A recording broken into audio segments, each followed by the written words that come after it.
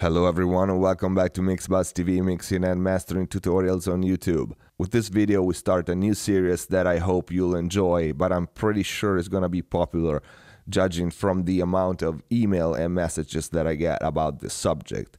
And the series is gonna be how to mix vocals on a two track for hip hop and trap music. Before we start, I want to thank you, all of you guys, because the channel reached over 4,000 subscribers in no time. It was very fast, and the feedback that I get from you is amazing. So, thank you. Also, I want to apologize because uploads are not as frequent as I would like. Because these days I'm really overbooked at the studio. I have two albums to track and mixing non-stop every day. So please accept my apologies for not uploading as often as I would. But all that work is gonna be material for the next series, so please be patient.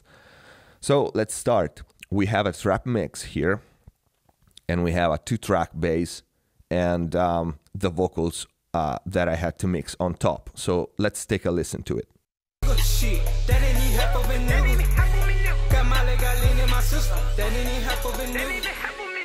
Grab the baking soda, we mix it with coca.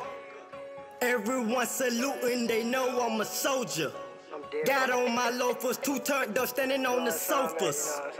Jack of all trade by night, I'm a poker. I'm so focused, determined, and motivated.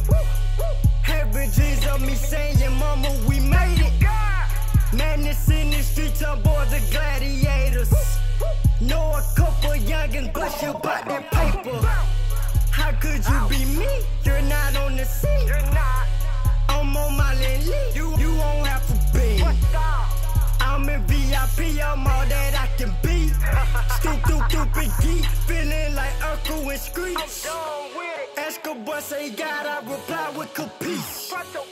Always in full throttle, looking like the lotto.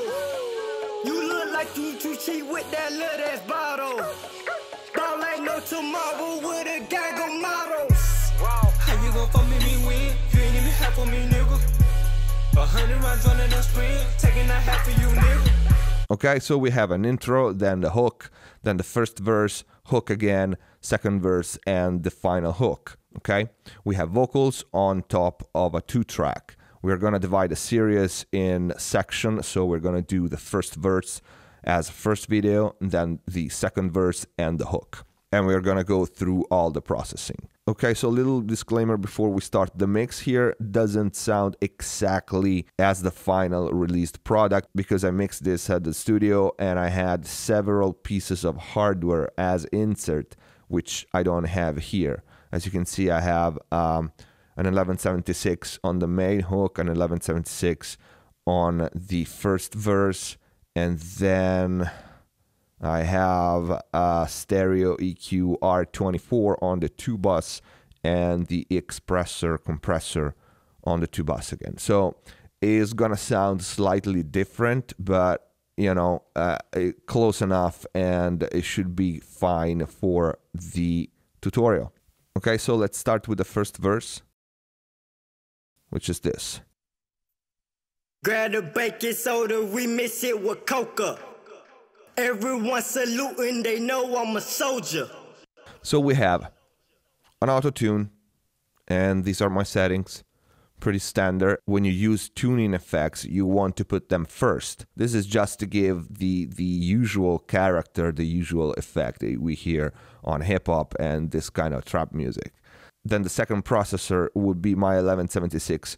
Uh, I had the hardware. I not. I'm not sure if I had the recall for this. If I do, I will post a picture just so you can see the settings. So after the tuning, we have uh, compression. And then the SSL channel, which I used only to compress a little bit more, as you can see here, 2 to 1 ratio, and add a little top end and remove some frequency around 500. Not much of a difference. Grab the baking soda, we mix it with coca. Everyone saluting, they know I'm a soldier. Got on my low. a little cleaner, a little more spark in the high end. Then we have saturation, one of my favorite URS saturation plugin, and I'm in JFET mode, modern, and 60%, and the saturation is all the way up. And this is the way I use this plugin all the time on everything. Uh, no matter which algorithm I use, I turn the saturation knob all the way up uh, to 100%. And then I use the dry wet slide to decide how much of the wet signal inject into the track. Let's hear it with or without. Grab a soda, we it with coca. Everyone saluting, they know I'm a soldier. Got on my loafers, two turned up, standing on the sofas. Jack of all trade, but at night, I'm a poker. Okay, so it's just a little more dense and greedy, and it rolls the top off just a bit to make it a little less harsh, I would say. Last processing is the FabFilter de-esser. Grab a baking soda, we mix it with coca.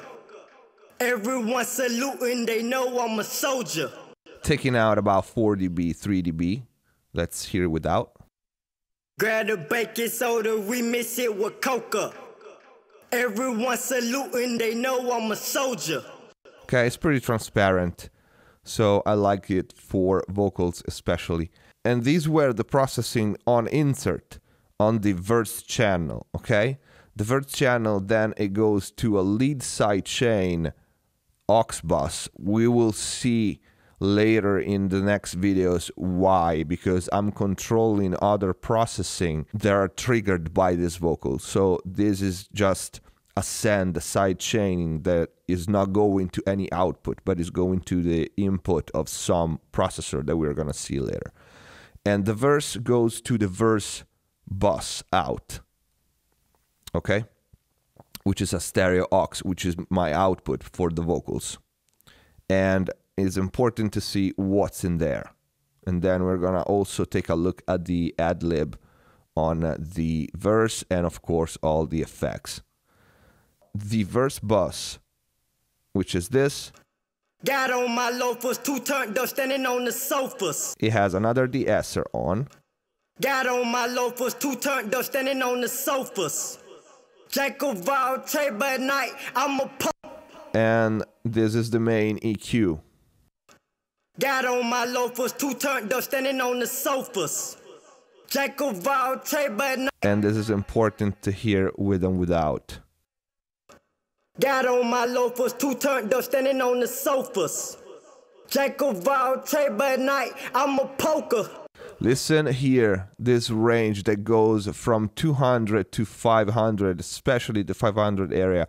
Here is where the vocal originally was uh, so boxy, and because it was recorded with a really bad mic and and not that great to begin with. So this was probably the most important move. Here, this range Got on my loafers, two turned up, standing on the sofas. Jack of all trade, but night, I'm a poker. listen how the vocals becomes immediately uh, more polished and professional without adding any uh, high end. And this is important because the first thing you're gonna do when a vocal is like dark or boxy the, the, the, the instinct is to turn the, the high shelf or, or some high bell and boost the high end. But that is not the first thing that you should try at least. You can do it of course but try to remove first what is bothering you what's causing the vocals to be boxy okay Got on my loafers, two turned up, standing on the sofas. it's this one Jack of all trade, but at night, I'm a poker. this frequency here around 500 and this one Got on my loafers, two turned up, standing on the sofas. and to a less extent all but at night, I'm a poker. this one I'm so focused, determined, and motivated.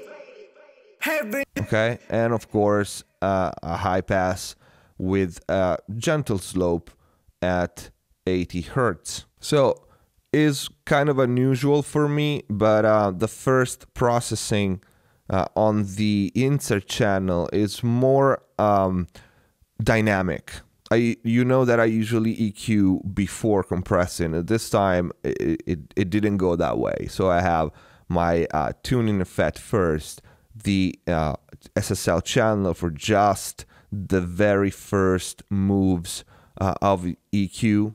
Uh, we are talking about 2 dB and a little bit of compression, but I had my 1176 first as a hardware insert for the bulk of the compression. then saturation, which is color, but I also intended as a, a form of dynamic control, and then de-essing.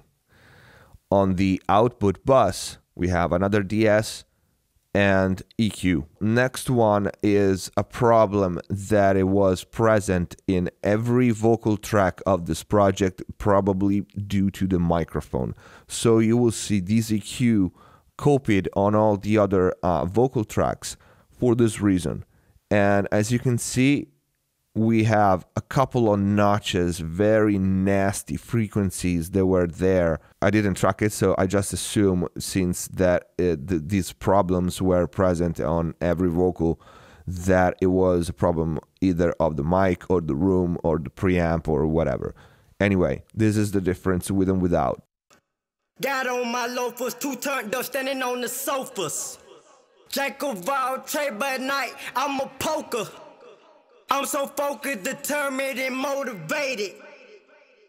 Dreams of me saying, Mama, we made it. Madness in the streets on board the gladiators. Okay, so without these notches, the vocal is really, really harsh, especially when, when you turn the volume up and, and you add all the effects. It was nasty. And we have a notch at 10K, a notch about 4K, and then I removing 4 dB also at 2K and some more boxiness around 900 okay and I'm also adding another uh, low pass filter because some low nasty frequency were still present despite the first uh, low cut Got on my loafers, two turned up, standing on the sofas. Jack of all but at night I'm a poker. I'm so focused, determined, and motivated. Dreams of me saying, Mama, we made it. Madness in the streets board the. As you can see, this EQ, which is the stock EQ uh, that comes with, with Pro Tools, is pretty transparent. I mean, I'm doing 18 dB notches up here, and it's not causing any major artifact, really, okay? It's just clean up the vocals. Got on my loafers, two turned up, standing on the sofas. Jack of all trade, at night I'm a poker. Okay, it makes the vocals sits better in the mix. Then we have the R compressor. Got on my loafers, two turned up, standing on the sofas. Jack of all trade, at night I'm a poker. Without it, I'm so focused, determined, and motivated. Of me saying, Mama, we made it. and this is a big part, as you can hear, of the the the density of the vocal. Now, keep in mind that we don't have a My 1176 uh, in hardware insert, which was doing the heavy lifting, but uh, you can hear the final product. Uh, I will link it down below in the info box, and you will have an idea. But anyway, the R compressor, I love it for vocals. It's got a great character. It's very simple and, and easy to set up. And in this case, as you can see, I'm using the electro mode as opposed to opto and the warm mode. Attack is at 5. You can see release, you can see threshold and ratio, and we are doing Got on my loafers, two turned up, standing on the sofas. Jack of around 12 dB uh, compression and making up the gain for pretty much the same amount. Uh, probably I was doing the same, if not more, on my 1176. So, as you can hear, this genre, compression, don't be shy. If you have to compress the crap out of a vocal, just do it, okay? Whatever works. Then the next processor is the CLA vocals, and I use this just for the bass and the treble. Got on my loafers, two turned up, standing on the sofas. So I removed some of the upper bass here, which is just probably a frequency around uh, five, six hundred, and then I added a little bit of top. I find the CLA vocals pretty great for this top boost. Very fitting in the genre of hip hop and, and, and trap music and this kind of vocals. I wouldn't probably use it on metal and, and rock and stuff like that, but for this genre, I like it. This top is very sparkly, very, very focused. I like it. Got on my loafers, two turned up, standing on the sofas. Without, Jack of all trade, night, I'm a poker. he opens up the vocals very nicely. So the next one is uncommon for me, but this is how it goes. I have an SSL X verb on insert on the verse bus. Grab a baking soda, we mix it with coca. Everyone saluting, they know I'm a soldier. Got on my loafers, two turned up, standing on the sofas. Jack of all trade, at night, I'm a poker. It just makes the vocals instead of on top of the beat, inside the beat. And this is a pretty important process in mixing vocals on top of a two track. You don't have the mix, you have a two track. You have to find a way to make the vocals blend with the beat. After all the processing that we've seen so far, the vocals were still too much on top. They were unglued from the the two track. And I wanna play you the two track with this vocal only without the verb. Grab a baking soda, we mix it with coca. You hear it? Everyone saluting, they know I'm a soldier. It sits on top of the beat. It's it's not nice. Grab baking soda, This we way? it with coca. Everyone saluting, they know I'm a soldier. Got on my loafers, two turned up, standing on the sofas. Jack of all trade, at night, I'm a poker. The thought process was listen to the beat, and in this part, there's the piano. So my thought process was listen to the piano. Where is it in the space? Where is in the room? Listen to the reverb of the piano and try to put the vocal in the same space. And I was happy with this. Okay, the delay helps uh, a lot too, but we're gonna see that later. The point is, I know hip hop and, and, and trap music and this kind of vocals usually don't use much in the way of a reverb. But if you pay attention here, you don't really hear the verb. Okay, you just hear the vocal inside the music instead of on top of the beat. And you can see the settings I have uh, 50% early reflection and 50% reverb tail. The dry wet is 7426 and the reverb time is around 600 milliseconds. Um, you don't have to use this reverb, you, you can use any. Uh, I happen to like the X verb for stereo, clean verbs without modulation.